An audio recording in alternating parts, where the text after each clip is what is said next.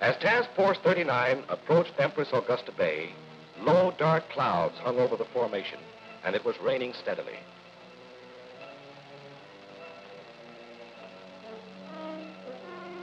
At 0100, general quarters were sounded.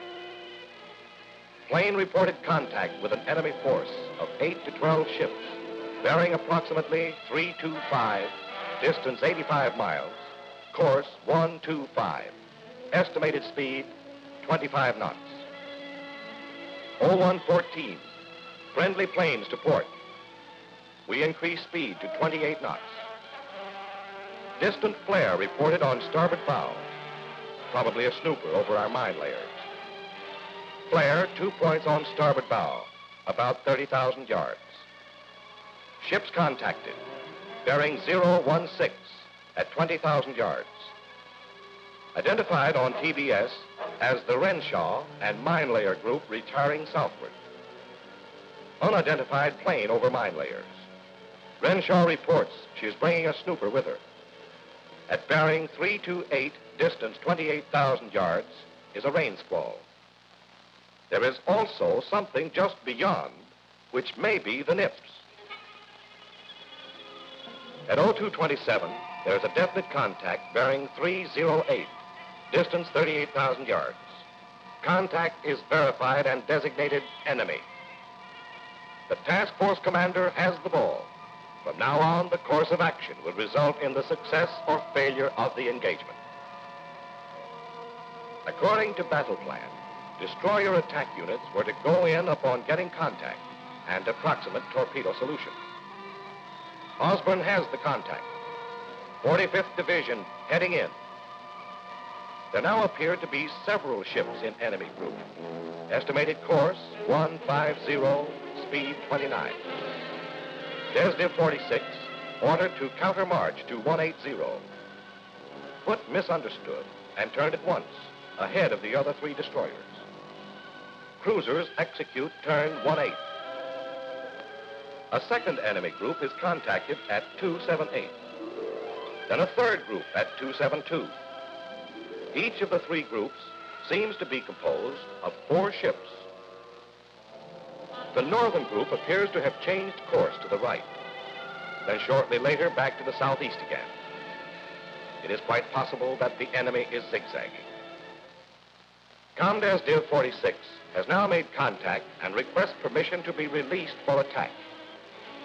This request was difficult for CTF to approve, well knowing that his forces would be divided and not knowing what future developments would take place. Nevertheless, Desdiv 46 was ordered to attack enemy rear group. The destroyers turned by column movement to course 270 and increased speed to 34 knots. Foote continues southward, separated from her unit. Cruisers are waiting word from Division 45 that torpedoes are on their way. From a distance 5,600 yards on the port bow of a northern enemy group, Desdiv 45 fires a half salvo of torpedoes and executes turn 9 to retire on course 050.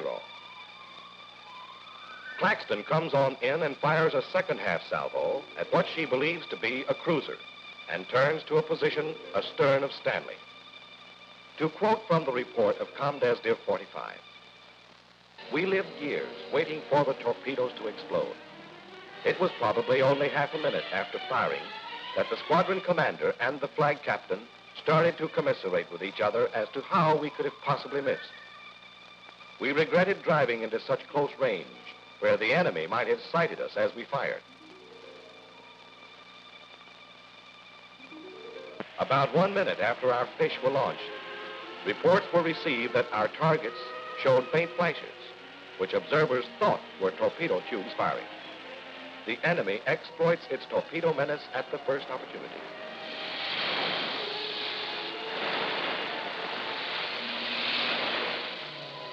The enemy did not open with gunfire, nor did any of their torpedoes hit, although there were several reports of torpedoes passing close on parallel courses. So Division 45 stood on its retirement heading of 050 until it had opened to 10,000 yards instead of turning to a firing course at 8,000 as originally intended. It was estimated that six minutes would be required for our torpedoes to reach the target. However, after three and a half minutes, CIC reported that the enemy group had turned to starboard, indicating our torpedo attack had been detected. So the cruisers were ordered to open fire. It was a great relief to Comdes Div 45 when three explosions, small but definite, were seen on the northern Jap group, indicating they had unsuccessfully turned away from our torpedo attack. Shortly thereafter, two other explosions occurred, which were later revealed as hits resulting from the second half salvo fired by Claxton. The cruisers having previously opened fire, Division 45 now joined in.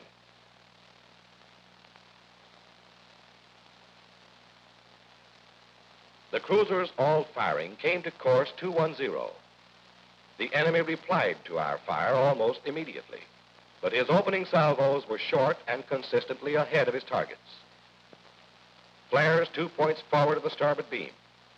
Desdiv 46 executes turn 9 to avoid these flares and to get out of the cruiser line of fire.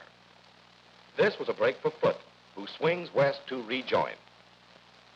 The task force now being divided, the chance of embarrassing one of our groups has materialized. The Denver is forced to sheer out of formation to avoid Foote, who is crossing to rejoin her division. Enemy fire is still short. Cruisers nearing maximum range come to course 230. Montpelier reports her target dead in the water. One destroyer steamed off at high speed to the north. It is believed that two ships of this group were severely damaged in the torpedo attack. A fourth target has appeared to the southwest.